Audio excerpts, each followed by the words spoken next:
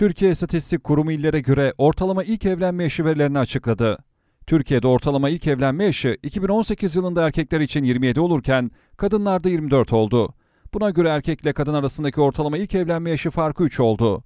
Ortalama ilk evlenme yaşı farkının en yüksek olduğu il Kars olurken ilimize bakıldığında ise 2018 yılında ilk evlenme yaşı erkeklerde 27, kadınlarda 24 olarak görüldü.